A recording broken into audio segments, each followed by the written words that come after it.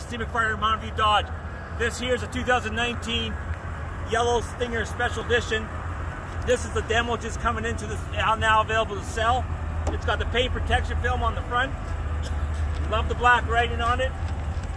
We put on the back there a nice Rumblebee Stinger on there. Ooh, don't get stung.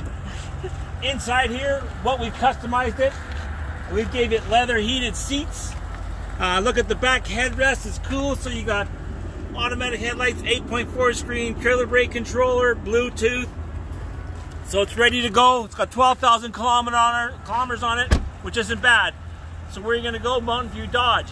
Where are you gonna see Steve McFarland? Don't forget your mask. Have a great day.